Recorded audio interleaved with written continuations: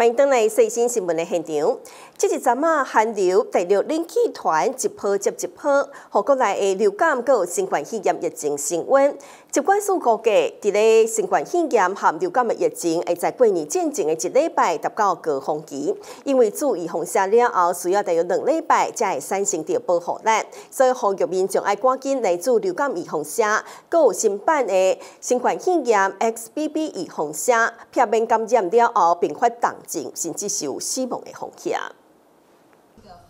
卫生福利部疾病管制署表示，根据欧美国家针对的新冠肺炎 XBB 预防针上新的研究显示，做 XBB 预防针会当有效预防着新冠疾病，预防大人大院、门诊、急诊就医的保护效果高达六成至七成。可能这礼拜是大选投票，阁有过年买价活动真多，人群聚集、移动频率增加，病毒传播风险嘛升悬。如果疫情到过年之前可能会达到高峰，所以呼吁还未做过新版新冠肺炎 XBB 预防针的老大人，搁有少年朋友爱赶紧来做预防针，提升家己的免疫保护力，避免过去确诊或者是做旧版的新冠肺炎预防针的保护力消失。疾病管制署提醒，并将如果伫咧人潮较济，而且无法度保持适当距离，或者是通风较无好的场所，和老大人或者是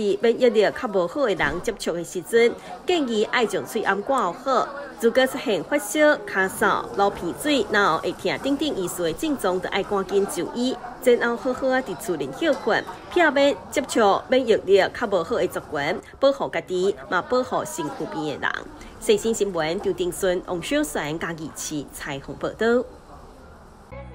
在家吃喝玩乐，探索世界，您准备好了吗？